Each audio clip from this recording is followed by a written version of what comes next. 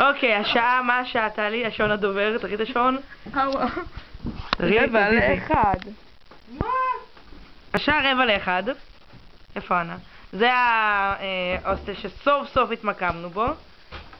רגע, נכנסנו אליו. בדיוק. עברנו את כל ההוסטלים בעיר. זהו, אנחנו יכולות לכתוב אה, די, אה, טלי תצלמי זה קצת. אנחנו יכולות אה, לכתוב לונלי מרוב שעברנו את כל ההוסטלים. זהו, עכשיו אנחנו יכולות לאכול משהו כי אנחנו מתות מרעב. אה, מחר כך תקום בשבע בבוקר, יש לנו יום מה זה ארוך.